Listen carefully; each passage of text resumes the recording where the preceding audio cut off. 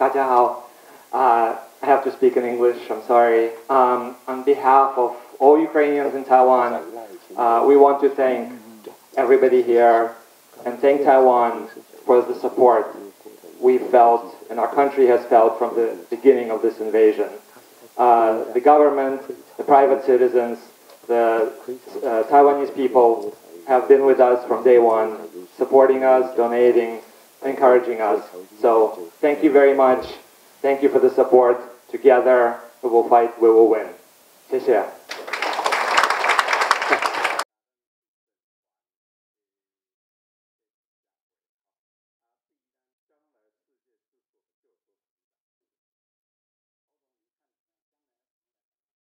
医师在现场包括